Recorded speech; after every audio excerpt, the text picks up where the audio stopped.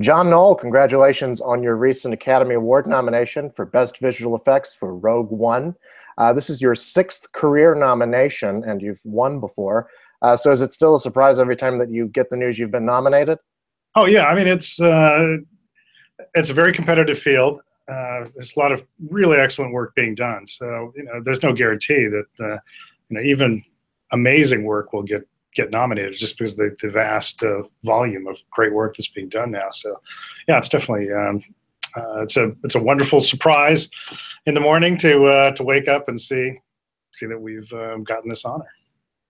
Well, congratulations again. Like I mentioned, you're a previous winner. You won for the second Pirates of the Caribbean film, Dead Man's Chest. Uh, so take us back to that night and, and, and let us uh, tell us what it was like uh, the night that you won and, and what that kind of recognition meant for you. Well, it was great, especially for the crew, um, because you know they, I've been on a bunch of very large projects, and you know it's very much a huge team effort, and people really pour their heart and soul into these projects, and and uh, uh, for me, probably the, the best part of the whole thing was uh, getting back to work the next day and there was a gathering in the dining commons and uh, uh, just seeing the smiles on everybody's faces and how much it meant to to everyone on the crew. That was super rewarding. So let's talk about rogue one. You've worked within the star wars universe before. You did some visual effects work on the prequels. In mm-hmm. fact two of your oscar nominations came for uh, phantom menace and attack of the clones so going into this film which is the first of what's going to be a series of standalone star wars films what was the um, i guess thinking in number one distinguishing it from the other films mm-hmm. but also making it a part of the overall universe well one of the, the wonderful things about um, what we're doing with the, the star wars stories is we get some freedom to depart from the style book so uh, in terms of filmmaking uh, devices not using wipes um, going for more of a documentary style, uh, more naturalistic lighting. Uh, all of these things were kind of, I think, really fun opportunities to try and inject into Star Wars. Um, but at the same time, we, have designed something that that in its nature wants to meet right up to, to episode four. And so you don't want to be so different from that that it feels like the films don't go together. So even though many of the same things that are depicted in our film and in um, in New Hope, if you really compare them, they're quite a bit different. Um, I, I, think they sort of match your memories, and that's kind of what we were trying to get a more modern take on how you remember things. And so I, I feel like it was fairly successful in that regard. Right. Uh, speaking of linking it up to episode four, that brings us to probably the big special effects feat of the film. Um, and uh, for anybody who hasn't seen it yet, I'm, I'm sorry if I'm going to give away something. Um, you bring back Peter Cushing and a young Princess Leia. Um, the decision to do that, um, I guess, why was that the best approach for this film as opposed to hiring another actor or, or something like that? Uh, well, I feel like uh, it's it's a lot like depicting a historic figure in a film, mm-hmm. and there when you're depicting a, a, famous figure, somebody that you know very well, you have a choice of how you're going to do that. Um, you try and find an actor that's uh, that's close in resemblance and build to that person, um, and there's almost always some effort made to alter their appearance, whether it's a little bit of makeup or a lot of makeup. Um, and in this case, we're really doing the same thing conceptually we cast an actor who who we had to find somebody who's a good actor. We had to have find somebody whose uh, physical build was something close, um, and whose mannerisms were like the uh, the person he's portraying, um, and his voice is close enough that that he could do voice as well. Um, and then, rather than use makeup to alter his appearance, we use computer graphics. Uh, it's a very sophisticated, uh, technologically complicated version of it. But essentially, we're using computer graphics to change his appearance. Were you at all afraid that it would be too jarring the first time that audiences saw it, or Was that at all a, concern? I, I, I, certainly have heard that reaction that people said, uh, you know, as soon as I saw him, um, that's all I could think about, and I was thrown out of the scene. Uh, and I, I sort of understand and don't want to discount that that reaction, but to be honest, the, the movie is full of things that um, that aren't real. And from the very first thing you see, you're being presented with you know planets in space and uh, and giant spaceships and all sorts of things that that uh, intellectually you know can't exist. So you know that that is part of the the whole essence of the film is it's full of fantastic things that don't exist, and we're sort of asking you to to bring some uh, suspension of disbelief.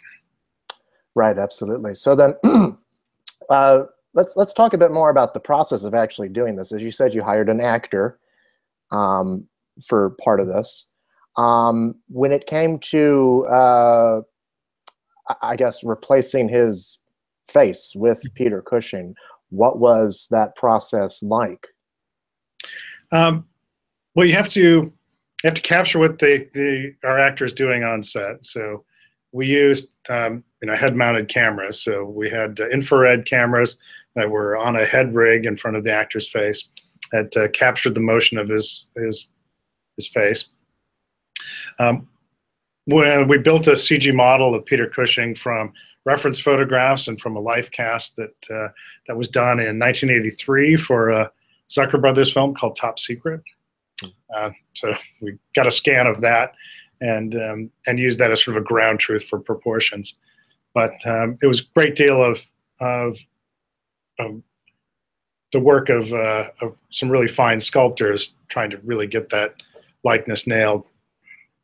Um, of course, you, you don't have Peter Cushing to take in and do a photo session to get uh, high resolution textures or to, to get the shape of his face. So that all has to be reconstructed by really talented artists. Um, we did use, uh, we scanned a couple of, uh, of older gentlemen that, uh, that had sort of similar complexion, um, were about the right age, and we used some of that for texture on his face. Um, and then the next part is, is trying to make a move in the, in the right way. And we could apply the motion from, from Guy Henry, from our actor, onto the model.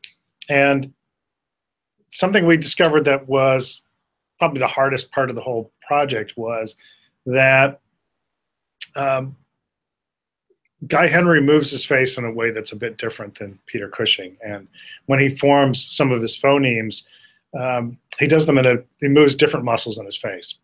And as an example, um, when Peter Cushing makes an ah sound, uh, he doesn't really move his upper lip and he makes sort of a trapezoidal shape with his lower lip that exposes his whole lower row of teeth. And that's just not the way Guy Henry would make a, an ah sound. And even if you apply that motion onto you know perfect likeness of, of Peter Cushing, um, he literally will kind of push himself off model and it doesn't quite look like him anymore. It looks like you know his brother or or some relative, but not necessarily like him anymore.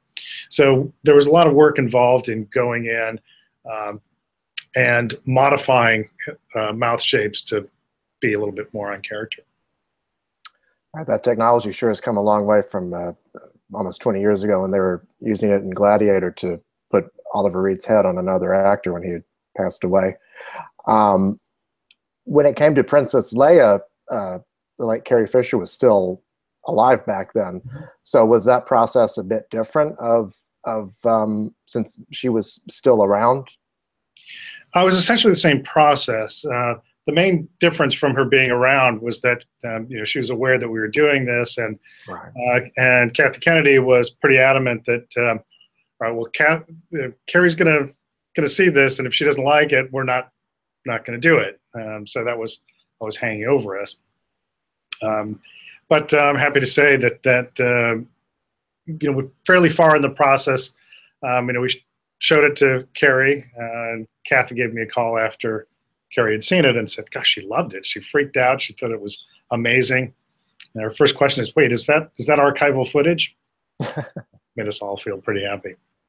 I thought the same thing when I watched it, actually. So it's it's really quite impressive. Um, now, of course, within this, you've got all these other special effects uh, sequences that you have to design and execute. Not the least of which are you know creating all these ships and uh, various aliens and things like that. So, what were some of the uh, most complicated special effects sequences for you and your team? Uh, well, there are all different levels. Uh, uh, some complicated things. Uh, the the uh, ground level destruction of Jedha. So when um, Death Star fires um, at uh, low power, we have this expanding shock wave that uh, destroys the whole area around Jedha.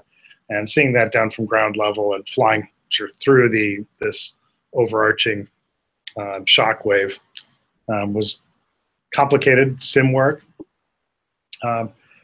Um, K2SO, a droid character in the movie, uh, is in you know, great many shots. He's one of the uh, secondary characters of the film, and he's um, all computer generated throughout.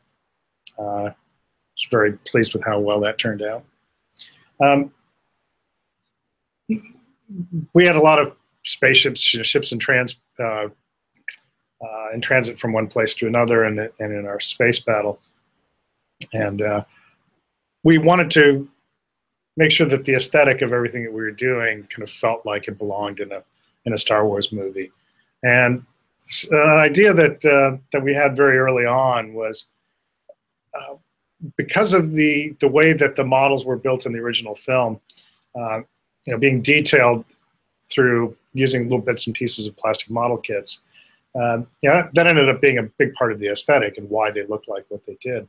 And we thought, why don't we get a bunch of the original plastic model kits, um, scan a bunch of the pieces, uh, make highly optimized digital versions of those, and then when our modelers are building something, they can work in the same way that the model makers did in the, the original day, sort of the digital analog of that, where they would pull parts out of the our digital kit bashing library and detail up the models. And if they worked that same way, hopefully the aesthetic would transfer and our models would look like they belonged in that same universe. And I'm happy to say I, I feel like that was really very successful. That uh, we've got a lot of comments from people who said that they, they thought the model work looked like um, motion control photography and that it just you know, fit right in. Right. Um, it, it's interesting um, the ways in which special effects have evolved, and certainly the first Star Wars film is an example of uh, how far technology has gone, has come since then. Uh, I just want to ask what uh, got you into the field of visual effects uh, personally? Uh, well, Star Wars was pivotal. Um, when I was growing up, um, I was a big fan of the movies, uh, and I especially liked the technical aspects of filmmaking. And when you're seeing something in a film that had to have been manufactured imagery in some way, you know, you're seeing something that obviously they didn't go out and shoot on location and how that was all done and the techniques they used uh, to realize those uh, those worlds and those objects and creatures, uh, I think was super fascinating. And so films that were really influential as a kid were was like Forbidden Planet, Day the Earth Stood Still, um, the Harryhausen movies. Uh, 2001 was a big one for me. And then uh, uh, when two, when Star Wars came out, I was 14 years old, and it was a revolution. It was this amazing advance in, in, the technology and the realism of, of the work. And, and at 14, you're starting to think a little bit about uh, what do you want to do with the rest of your life. And, uh, and I've been tinkering just uh, with um, um, hobbyist uh, explorations of various special effects techniques. I did clay animation and I built miniatures and, and uh, that kind of thing. Um, but I wasn't really thinking of it as um, a career possibility until Star Wars came out. And suddenly, you know, this is an exciting new, a lot of new developments happening in the field. Um, and I started thinking maybe I would go into entertainment. So Star Wars pretty directly responsible for my being here now. And to that end, I mean, are, are there still things that you learn with every film? Um, and uh, what specifically did you learn on this one? Uh, yeah, I think the best projects are, are projects where you learn. And if you if you do something you're not learning anything, I think it's kind of a missed opportunity. Uh, uh, well, we learned we pushed in a lot of different areas on the on the show. Um, I feel like I, I, learned some good, useful things about uh, production methodology. We tried an experiment with uh, uh, image-based lighting on set with giant LED screens and preparing computer graphics to play back on them to light the actors. I thought that was very successful. Um, doing digital humans is extremely difficult. It's one of the hardest problems in computer graphics. And I think we, we learned quite a lot from, from doing Tarkin and Leia that uh, we can apply to projects going on in the, in the future. Looking forward to that. Well, it's very impressive work, John Knoll. Thank you so much. Congratulations on your on your Thank work you. and your nomination. Thank you.